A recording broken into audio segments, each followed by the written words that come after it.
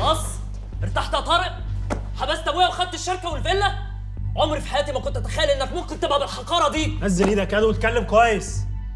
الحقارة ده أبوك اللي عملها لما بعت واحد عشان يقتلني. ولما كان حق وشغلني موظف هنا في الشركة وخلى واحد زيك يتنطط عليا. أنا عمري ما اتنططت عليك ولا عمر أبويا كان حق حد عشان ياكل حقك.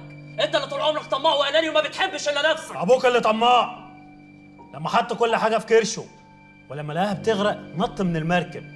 وكتب كل حاجة باسم واحدة ما نعرفهاش. البت لو كانت شغلت مخها كانت قلعتنا ملطه وقعدتنا في الشارع. أبوك خايب يا حازم وما عرفش يدورها.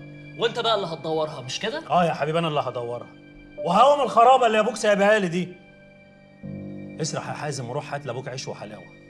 زمان ولان عليك. بس خد بالك يا طارق أنت كده ما بتاخدش حقك لوحدك أنت بتاخد حق أنا كمان. وأنا مش هسيب حقي. ومين قال لك يا ابن عم إن أنا هاكل حقك؟ أنا هديك حقك بس بعد 30 سنة. أبوك فضل واكل حقي 30 سنة. إن شاء الله لما يعدوا تعالى لي وهديك حقك. يا طارق الشاطر اللي يضحك في الآخر. يخرب بيتك. ما إحنا في الآخر يا ابني. هيحصل إيه بعد ما أبوك اتحبس؟ اتكل على الله حاسب.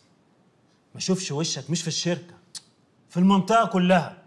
يلا نتكل على الله من هنا. يلا!